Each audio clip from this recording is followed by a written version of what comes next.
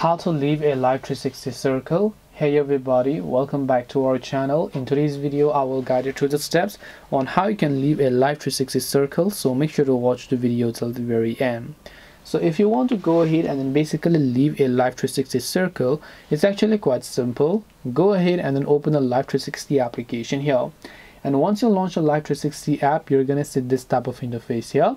So first of all just make sure that you actually select the correct circle from the top of the screen over here on which you want to leave. After that tap the gear icon from the top left. And then once you've done that what you want to do is you'll find the option called circle management. So now you can tap the circle management option and when you go to circle management at the bottom you'll find the option called the leave circle. So tap on leave circle and then tap on yes and you have successfully left that Life360 circle. This way you can leave a Life360 circle. Hope this video was very helpful.